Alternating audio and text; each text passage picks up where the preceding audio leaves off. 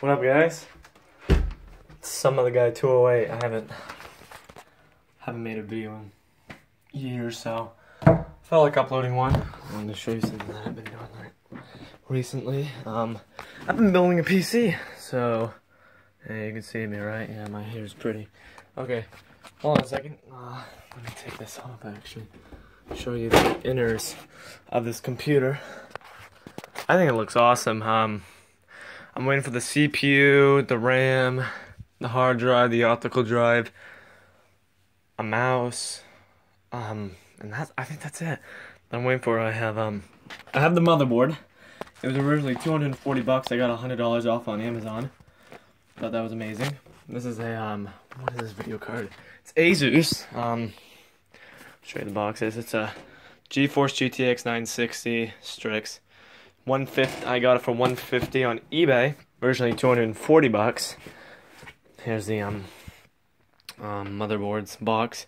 I was gonna go with the Z170A, looks basically the same, but this is the Pro version, so I went with that. It has a um water pump um connector that I wanted to get.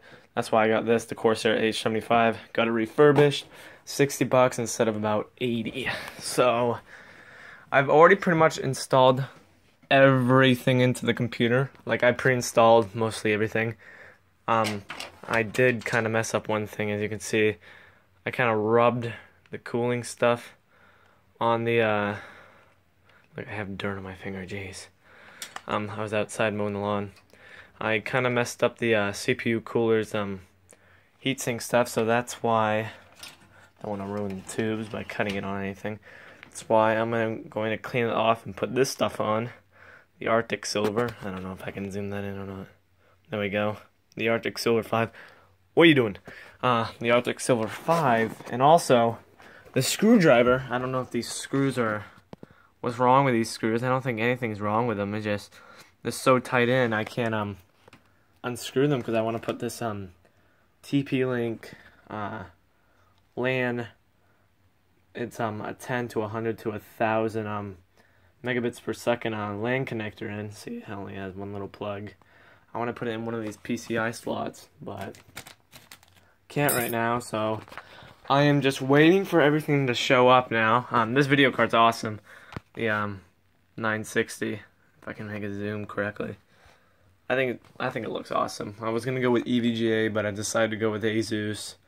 Also, I these bolts back here I actually stripped on accident. I'm pretty mad about it. There's two bolts right here.